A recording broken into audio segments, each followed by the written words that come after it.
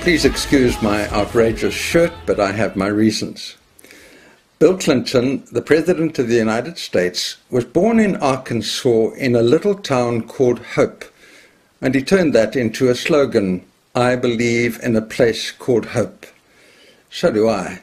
Now, only two people in the New Testament were given a privilege of having a glimpse into heaven. Paul never talked about it, he never tried to describe it. He simply said, Eye has not seen nor has entered into the imagination of humankind the things that God has prepared for those who love him. It was literally indescribable. And yet John does make an attempt to describe it in Revelation 21, and he does it in typical apocalyptic style with cascades of images and pictures and symbols. And I'm simply going to tell you what they say to me, and I hope that'll do some justice to one of the greatest chapters in the Bible.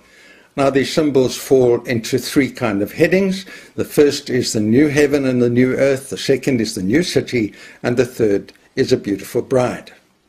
Let's talk first about the new heaven and the new earth. What intrigues me about that is the new earth. Is this earth in some way going to be reflected in heaven? And I think the answer is yes, for the simple reason that in the same way we were made in the image of God, this earth was made in the image of heaven. And so we are going to carry, I believe, the best of this world forward into the next. Verse 24 says, The princes of the earth, that's us, we are royalty, we are sons and daughters of God, will bring their treasures into heaven. And so I think there's going to be an element of familiarity about it. We're going to feel we've been there before. I believe we'll be recognizable when Peter, James, and John saw Elijah and Moses on the Mount of Transfiguration, even though they were wonderfully transfigured, they still recognized them. Imagine the best thing in this world. When we were in our 30s, a Bible study leader went around the group and asked us to say, if money were no object, where would you live? And we gave weird and wonderful answers. I chose to live on a house on the top of the hill behind Sedgefield. I even did a paraglide there last year. I was always happiest down there, and the 360 degree view of mountains and forest and lake and sea. What is the best thing you can think of? Well, C.S. Lewis says, Heaven is not a shadowy version of earth. Earth is a shadowy version of heaven. Take the best thing you can think of, multiply it by 30,000, and you have an idea of heaven. I'll tell you later why I say 30,000. But there's one thing that won't transfer from earth to heaven, and that is pain. Verse 4 says, There will be no more death, no mourning, no crying, nor pain, for God will wipe away all tears from their eyes. I keep saying Revelation is not literal. This is literal. There will be no more pain. So let's move on to the new city. Revelation is really a tale of two cities. It's a tale of twos. There are two kingdoms, the kingdom of this world and the kingdom of our God. There are two women, the harlot and the bride. There are two marks, the mark of the beast and the mark of the lamb. And there are two cities, Babylon and Jerusalem. Revelation is a book that puts choices in front of the world and says, which would you like it to be? But we look at the new city Babylon represents actually three things. First, it's the literal Babylon in 587 BC that destroyed Jerusalem and led the people of God into captivity. The second is AD 90 and it represents Rome at the time of writing, leading God's people into captivity. But it also refers way back to Genesis chapter 11 when people tried in their arrogance to be equal with God and God confused them by giving them a scattering of languages, a Babel, a babel of languages, and they were scattered across the earth. But let's talk for a minute about Jerusalem. Jerusalem symbolizes many things, but above all, in the Old Testament, Jerusalem symbolized the presence of God. Look at this picture. That is the Western Wall. It's the last remnant of Herod's temple. Look up to the left, you will see the Dome of the Rock. That is built right over where the Holy of Holies used to be. Now, Orthodox Jews will tell you the presence has never departed from that place. And so the closest Jews can get to the presence is at the Wailing Wall, especially on that left corner there. And look how they crowd in there on the last day of the Feast of Tabernacles. We were privileged to be there that day. Look how they crowd in to get as close as possible to the presence. Now, we would probably say, but that's old covenant teaching God in a particular place. Yes, it is.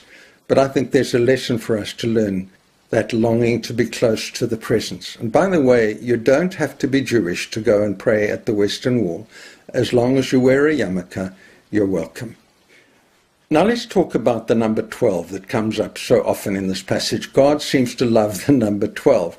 It's a very flexible number. You can divide by 2, 3, 4, or 6. It's a very symmetrical number. I believe it's a very valuable number in management. I've always thought the ideal number for a home group is 12. It's big enough to be dynamic, but small enough for good discussion. And look at these 12s.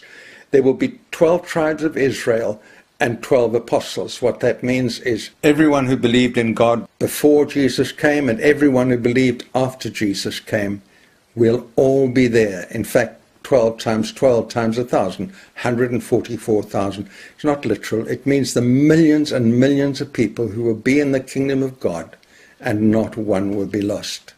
And then there are the 12 gates, the 12 foundations, and walls 12 times 12 cubits thick. That's 65 meters thick.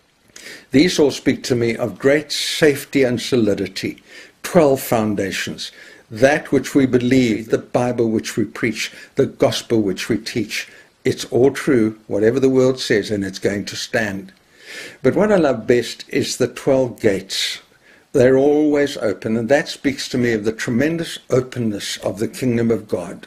You can get in, it's really open. You have to really not want to go to heaven to not be there. And those open gates, well, they speak to me of safety. They don't need to be closed because there's nothing dangerous. Remember that question, where would you like to live? Well, one woman in that group had been attacked in her home, and her answer was anywhere, as long as it's safe. She was quite a bit older than me, and I have a feeling she's probably got to that safe place now.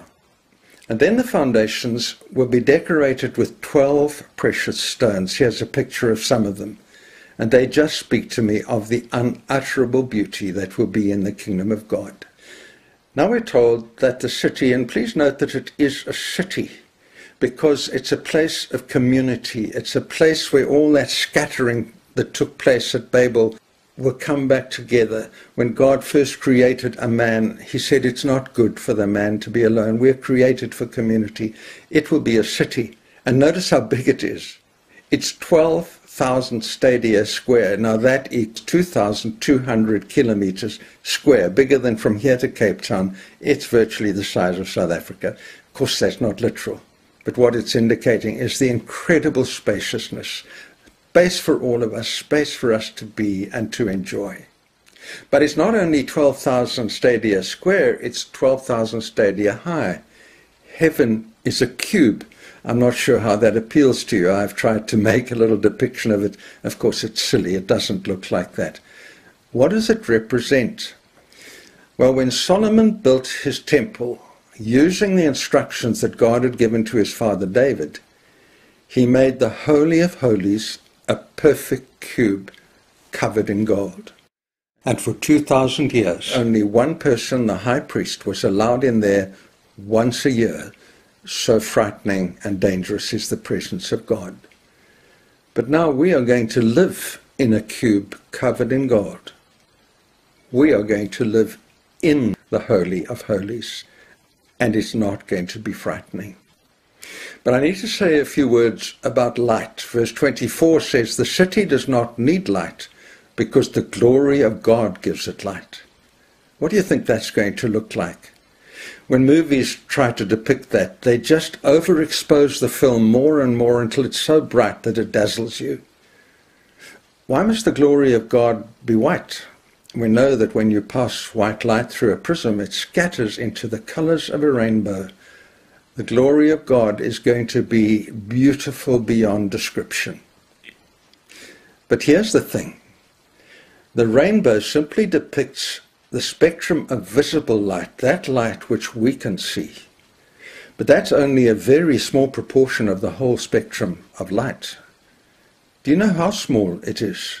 We can only see 0.0035% of all light. We see one thirty thousandth. We are 99.65% blind. Imagine what it's going to be like when our eyes are opened 30,000 fold and we see as it really is. No wonder Paul said, Eye has not seen. But here's a small miracle. In the rainbow, it starts with red and ends with violet. On the other side of red is infrared, on the other side of violet is ultraviolet. Those we can't see, but we can see the effect of them. How did John, when he wrote of the 12 precious stones, how did he know that everyone transforms under ultraviolet light? Just look at them. Agate, amethyst, beryl, which changes color completely, chrysolite, emerald, jasper, ruby. But my favorite is onyx. Just look at this horse of onyx. It's pretty, but it's fairly colorless, isn't it? When you look at me, I hope you see some good points. I'm very aware of other points in my character. But look what happens under ultraviolet light. And that's a picture of you and me.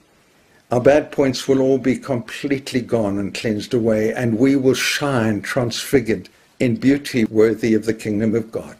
But last, let's talk about a beautiful bride.